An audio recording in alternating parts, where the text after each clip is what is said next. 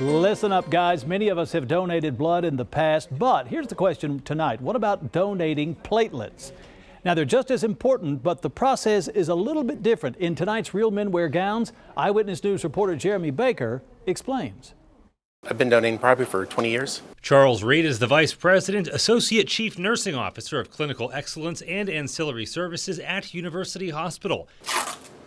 Working with trauma patients, he knows the importance of donating platelets. You never know when when you need it, and and it's a it's a resource that isn't always available. Donating blood takes about 20 to 30 minutes, but platelets take a little over an hour. Many donors find it relaxing. You sit in a very comfortable chair and squeeze your hand every once in a while, and there's really no discomfort. The blood flows into the instrument, it spins the blood, takes off the products that we're after, and in this case, the platelets, and then it cycles back and returns the remaining portion of the blood back to the donor. Ronnie Fryer, the manager of donor services at University Hospital, says the number and scope of people you can help by donating is incredible. We can get a, a large volume of platelets that can be used for uh, cancer patients, uh, high risk OB patients, and trauma patients. University Hospital's Blood Donor Services is holding a new platelet donor incentive drive this summer. Your first donation gets you a t shirt, donate a second time for a $15 Whataburger gift card,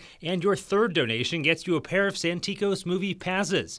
If you donate three times between now and September 26th, you can take home a $40 HEB gift card. To find out if you are eligible to donate platelets, call Donor Services at 210 358 2812. Jeremy Baker, KENS 5 Eyewitness News.